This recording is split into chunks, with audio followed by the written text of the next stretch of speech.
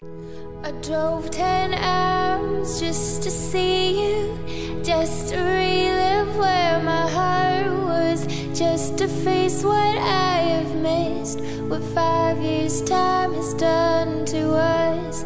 We grow old, our faces change, our minds and hearts have been rearranged, our bodies tired with the coming age.